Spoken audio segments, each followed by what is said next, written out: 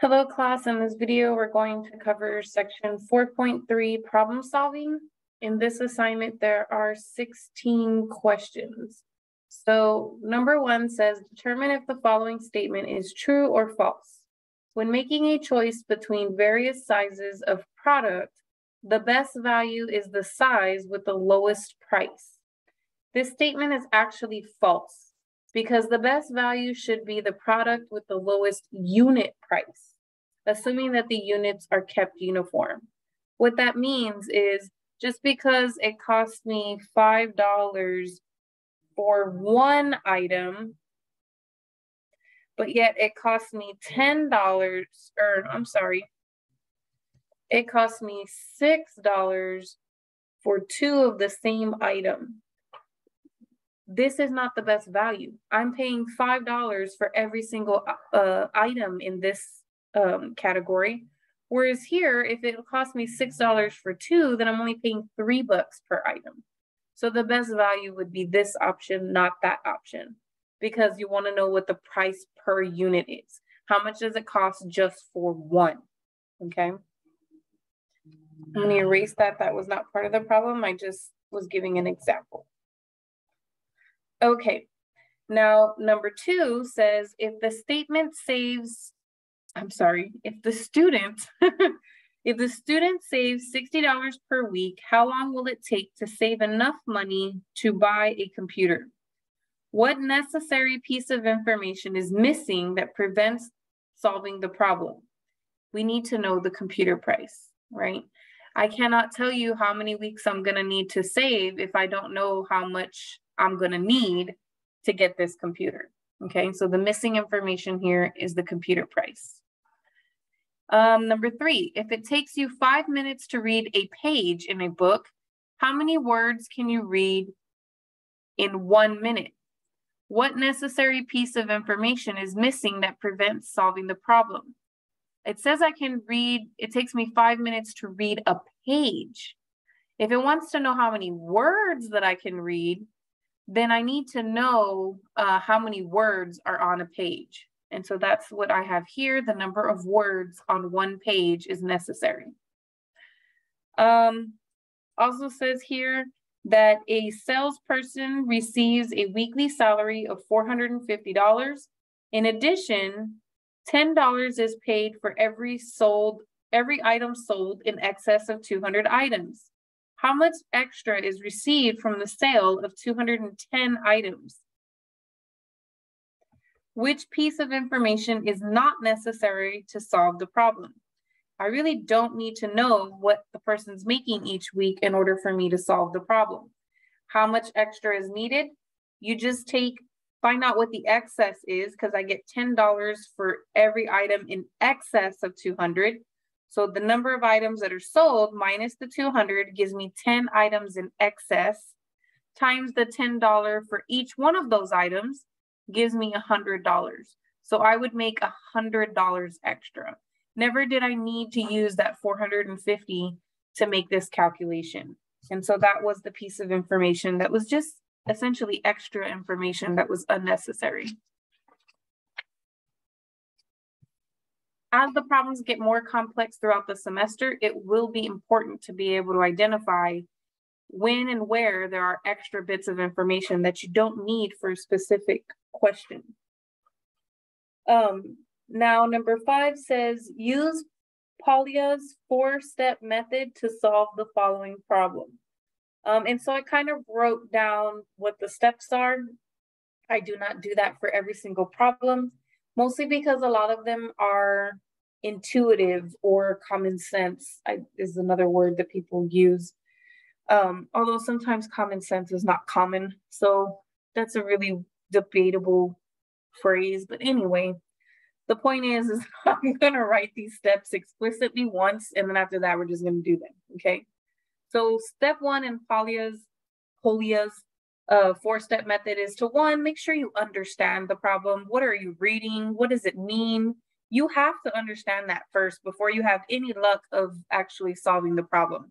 If you're reading that problem and your brain just cannot wrap itself around what is happening, then you're not going to be able to solve the problem. You have to be able to read it and understand what you're looking at and go from there. Okay, you have to not only just understand the information that you're given, but also understand the question that's being asked of you. Okay, um, you have to understand both of those pieces before you can keep going. Once you do have an understanding of the problem and the question, or the information and the question, hence the problem, um, you will devise a plan because since you have a comprehension of what's going on and what is needed, that should be enough for you to create a plan on how to solve the problem. Okay. Number three is just to carry out that plan. So if you had an idea, go ahead and go with it and do it. Okay. And then the last step is to look back and check. So make sure that your answers make sense. Make sure that um, you don't have any errors, you know, things of that nature. Okay. And so those are the four basic steps of uh, the Polya's method. Um, so for the first one, understand the problem. The problem is saying which is a better value, and it's giving you one 50, 15.3 ounce box of cereal for $4.62 or a 24 ounce box of cereal for $5.03. Um, I called the top one A, the 50 through or 15.3 ounce box A, and I called the 24 ounce box B. Okay, just so that I didn't have to write out everything each time, even though I ended up doing it anyway. Um, so the unit, my my divide, my plan was if I'm trying to find quote unquote better value, it already talked about that in question one, and that the better value is the unit price. And how do you find unit price? Unit price is found by taking the total price over the number of units, whatever it is, okay? So in this case, they're both in ounces. And so that's why I have the word ounces down here.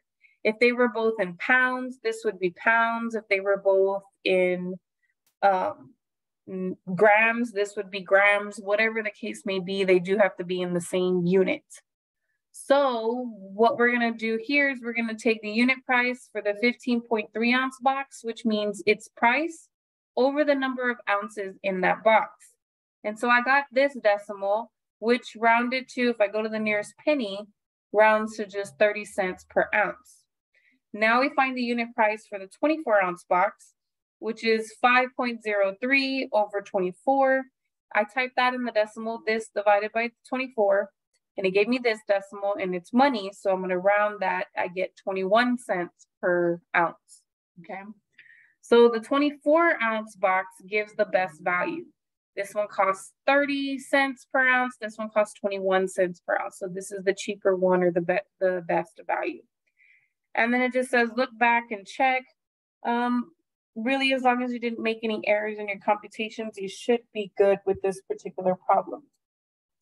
This is probably one of the most, and it's so early. Well, I guess technically we would have been in a month into the course if we were in a regular 16 week course.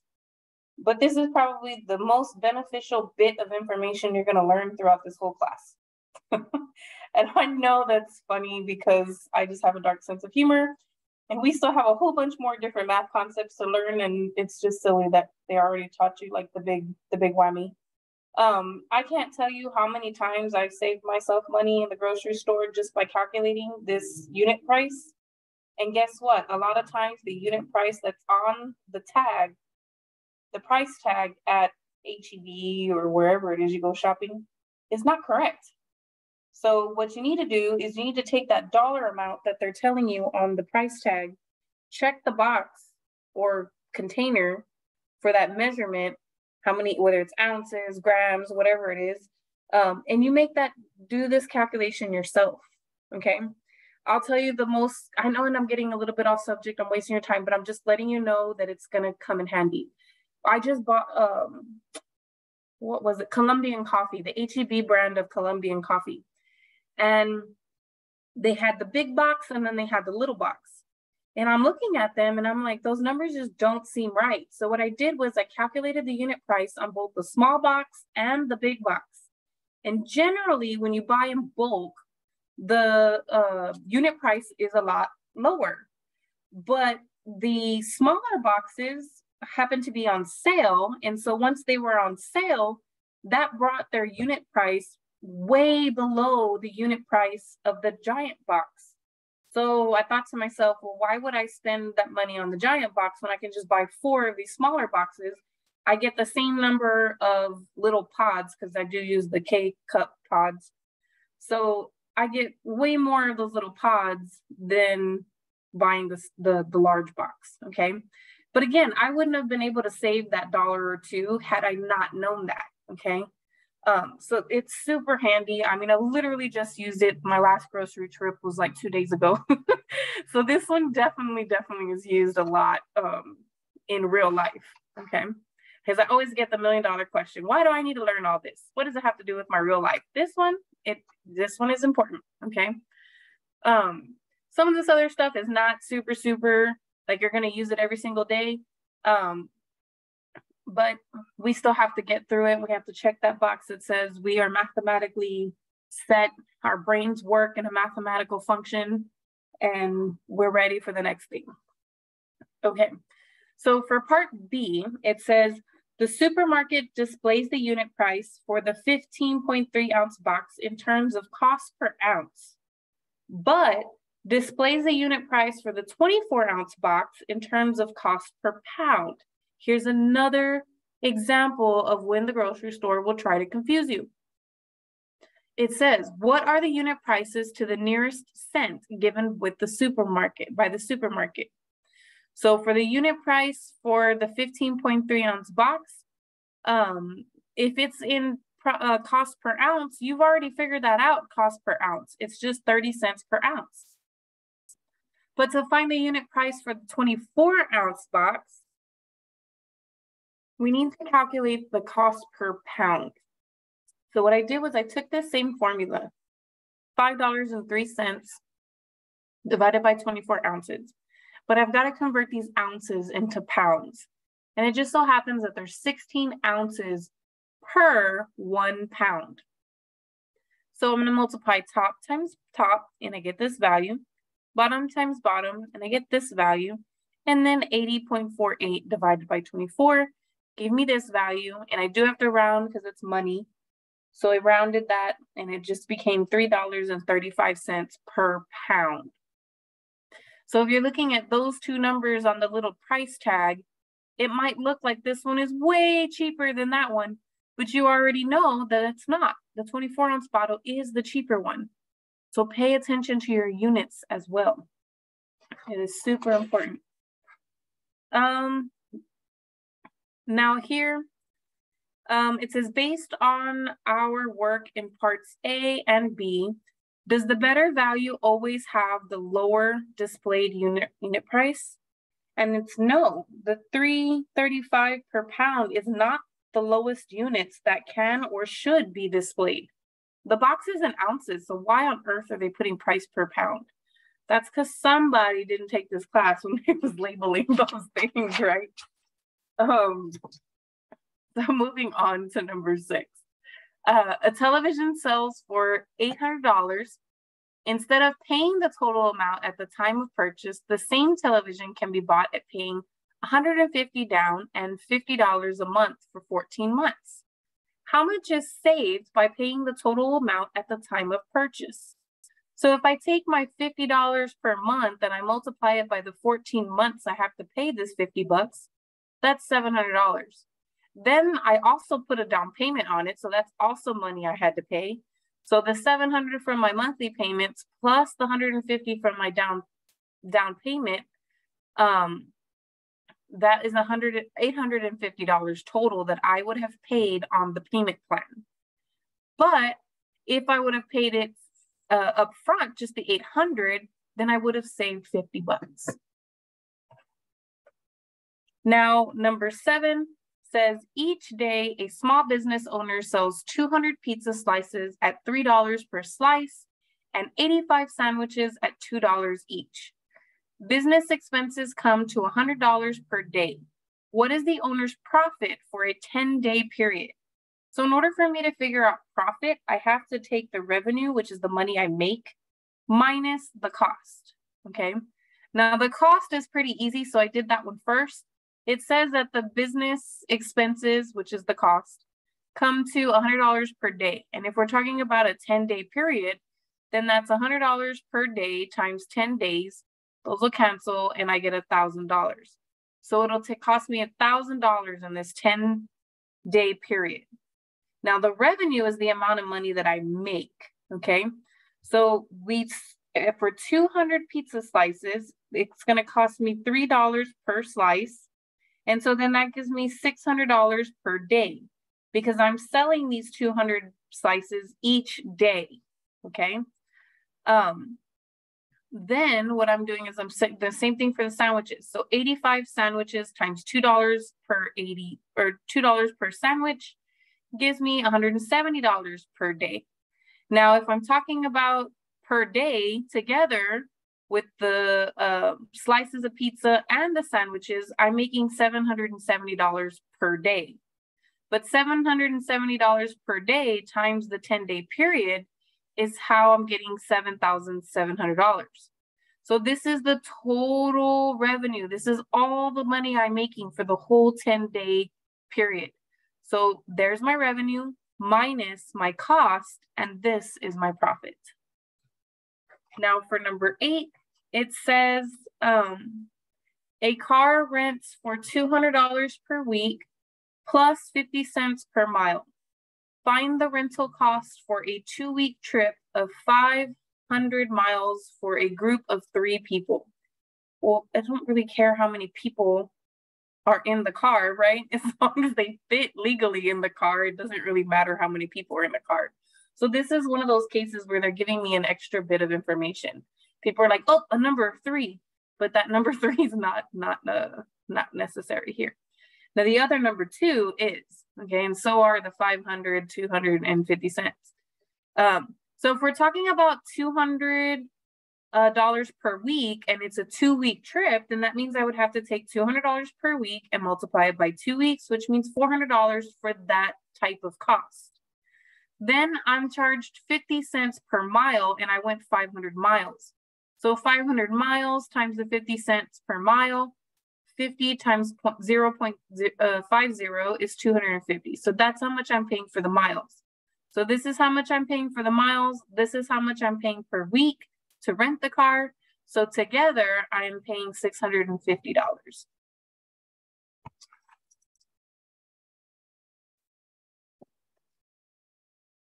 Now, number nine says a store owner orders 25 calculators that cost $50 each. The store owner can sell each calculator for $58. The store owner sold 22 calculators to customers he had to return three calculators that were never sold and pay a $5 charge for each returned calculator, although the initial cost is refunded. What is the store owner's profit? Now, I did do it one way, but then I realized I probably could have done it a faster way. And so that's why you see this or and this mumbo jumbo over here on the side. So I'm going to go over what I did initially, and then I'll explain why I could have done it differently. Okay.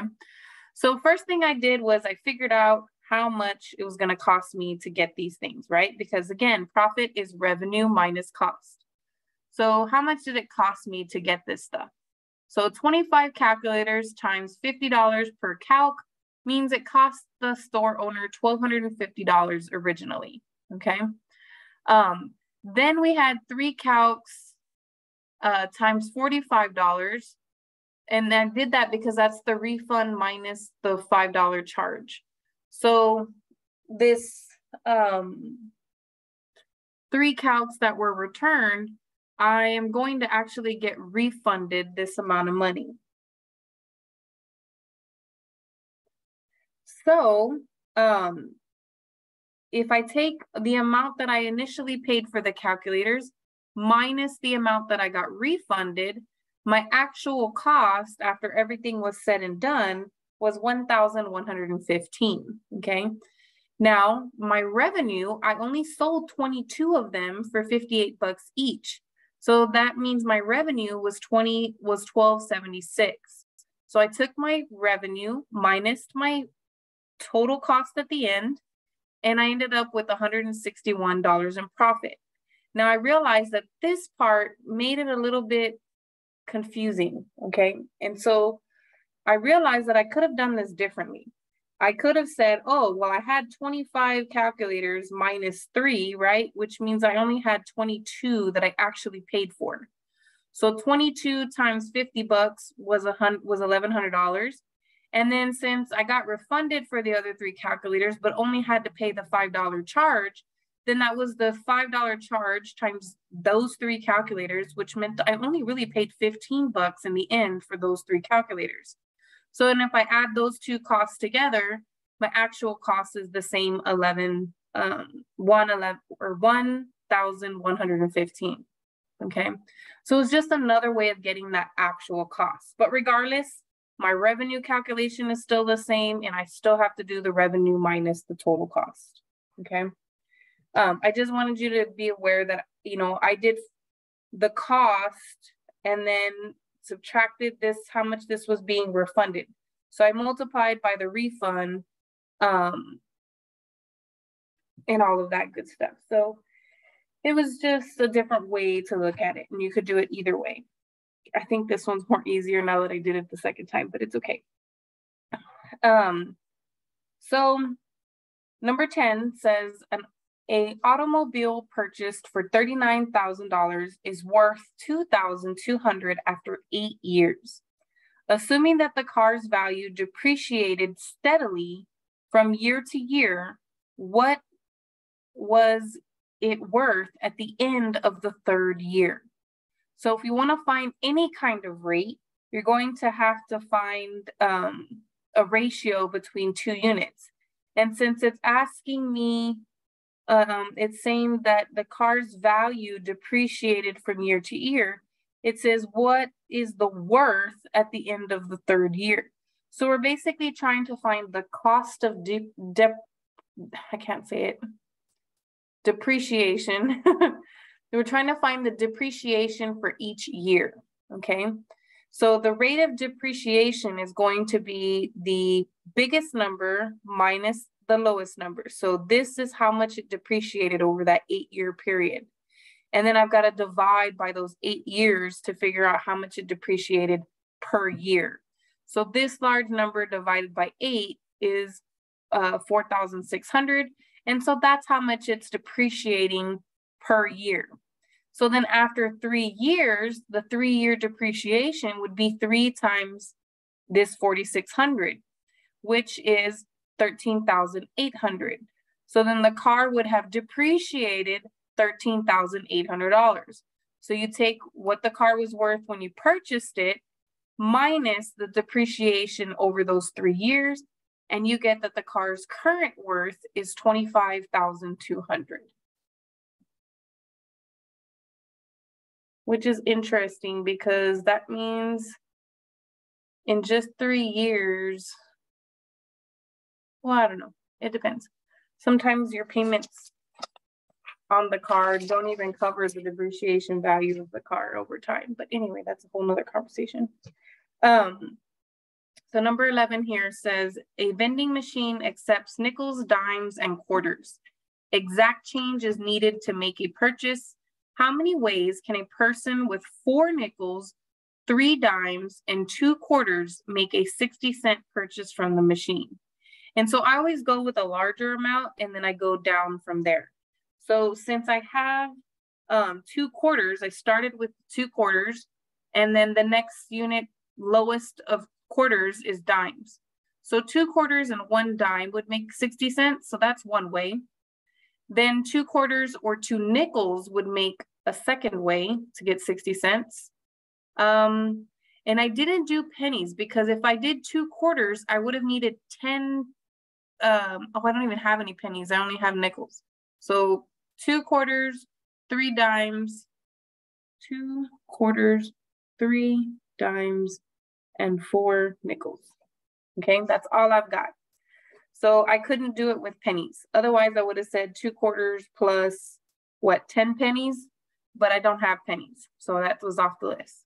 So then the next thing, I'm already out of the quarters. So now I'm going to take away one of my quarters and I'm just going to go with one quarter. and then the next unit. I could use all of these and still not be over 60.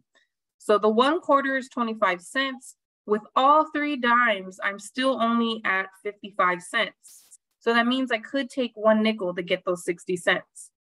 So that's a third way. The next one is to keep the one quarter, but instead of three dimes, do two dimes. So now that puts me at 45 cents, which means I would need three nickels.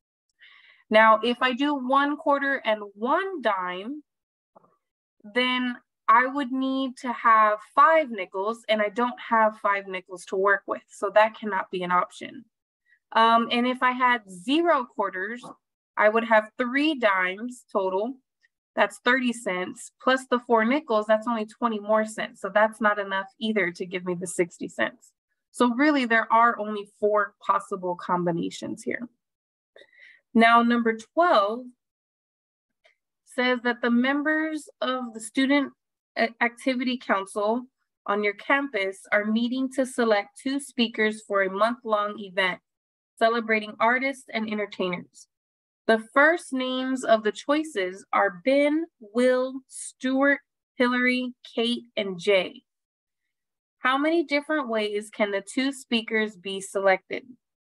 So here's what I did is I started with the first one and then I said, oh, well, he could speak with him, he could speak with him, he could speak with her, he could speak with her, or he could speak with this person, okay? So that's what I did. I put Bill with Will, Bill with Stuart, Bill with Hillary, Bill with Kate, and Bill with Jay. Then I moved on to Will.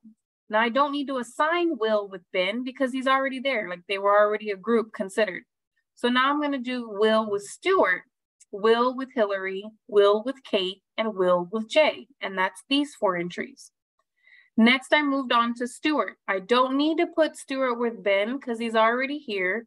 I don't need to put Stuart with Will because that's already represented here.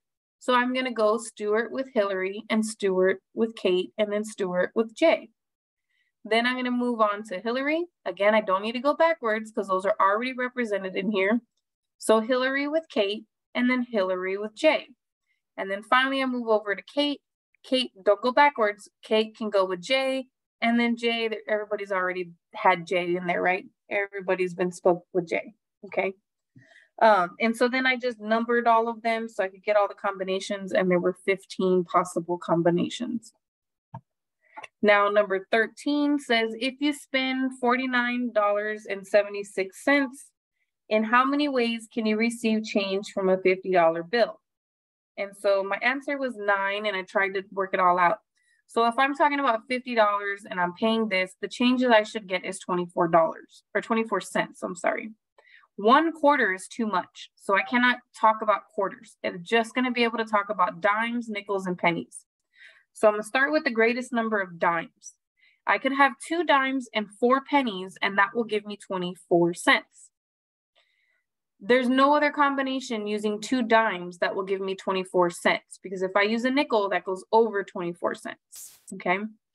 Now, I can go less dimes. So I went to one dime.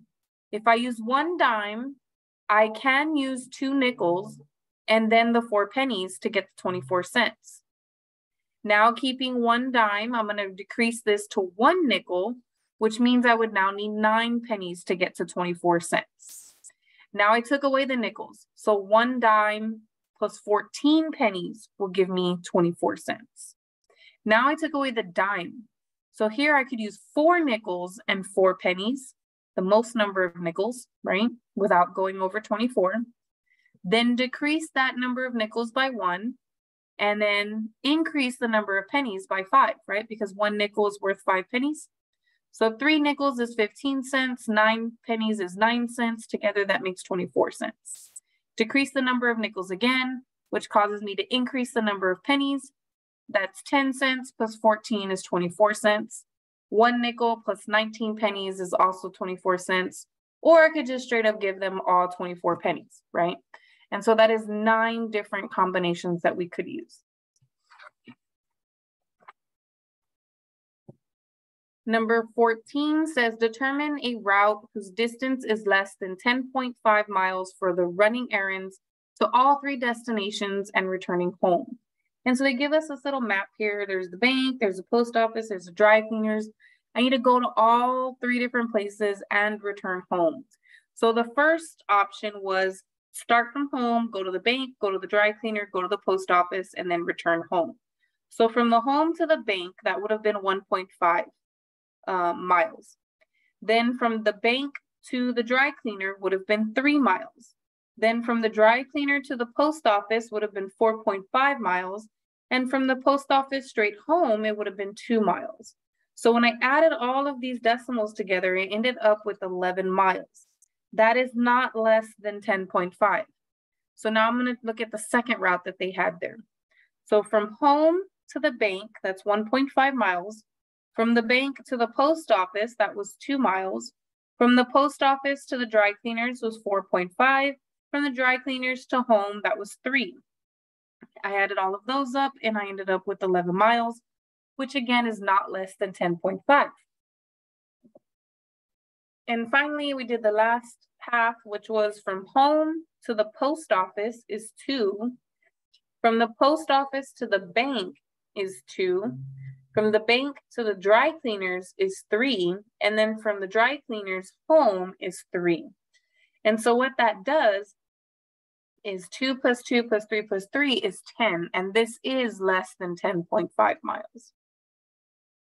And so this was the option that we should have chosen.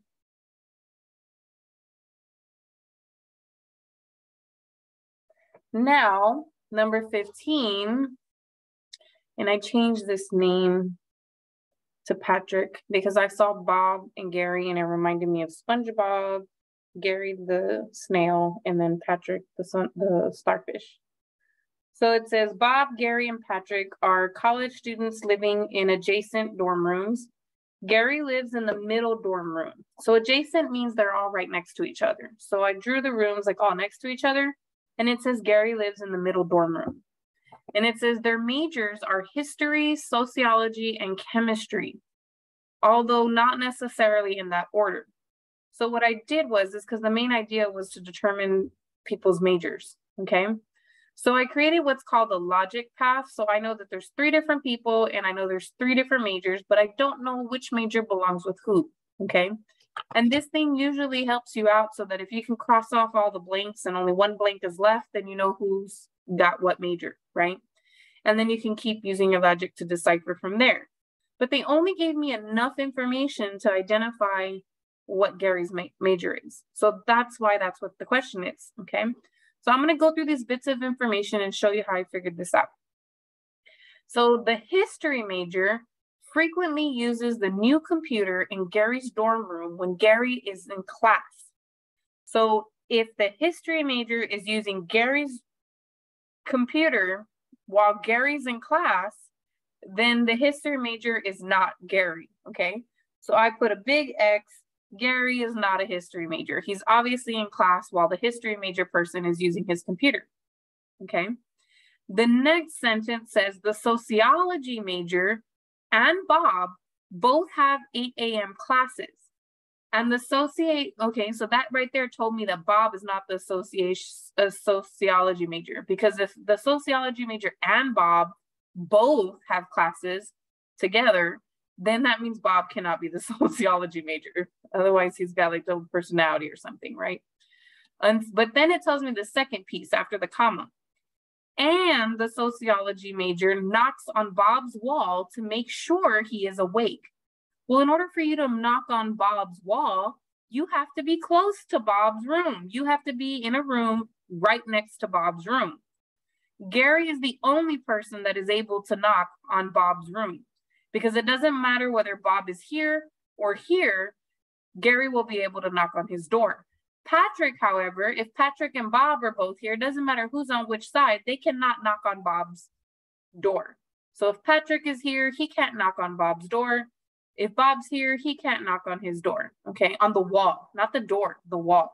So you literally have to be on the other side of the wall, okay? So the only person who can knock on Bob's door is Gary. And so since Bob and the sociology major have the classes together, and to make sure that Bob wakes up on time, Bob's got to get his wall banged by the sociology major. Gary's the only one that can bang on Bob's wall, so Gary has to be the sociology major. Okay. And I think I wrote that here. It says sociology major must be Gary since only Gary can knock on someone else's wall. And that's because they told me that Gary was in the middle room. Now, very last question of here, and this is a magic square is a square array of numbers arranged so that the numbers in all rows, all columns, and the two diagonals have the same sum. Sum meaning you add them all together. Use the properties of a magic square to fill in the array on the missing numbers in the magic square below. So they had all these numbers here, 7, 16, 17, and 27. And then they had blanks and they labeled this blank A, this blank B, this blank C, and this blank D, okay? Now I do see that I do have a diagonal here fully, right? There's nobody missing in that diagonal. And this diagonal, somebody's missing. In this vertical, some two people are missing. And this vertical, two people are missing. In this vertical, only one person is missing. In this uh, row or or uh, horizontal, one is missing, here two are missing, and here two are missing, okay? So, but I noticed that in this particular diagonal, all the entries are there. So I added all of those entries together to get the magic number. The magic number is 51. So supposedly, since this is a magic square, it doesn't matter whether I add this way, this way, these ways, or these ways across, that all of those individual sums should be 51. So the first thing I did was I looked at um, A. Notice that A is the only one missing in this row. So I know that A will have to be 51 minus 7 minus 16, right? Because the whole thing's supposed to be 51, but I'm gonna take out seven and take out 16 to figure out what A is. And A is 28. Once I had A, because it was the only one in this row, I also noticed that C was the only one in the column. So for C, I did 51, take away 16, take away 27, and I got that the number that belongs here is eight, okay?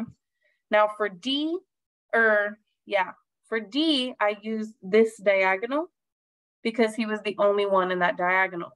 So 51 minus the 17 minus the 16, and that gave me that this box should have an 18 in it.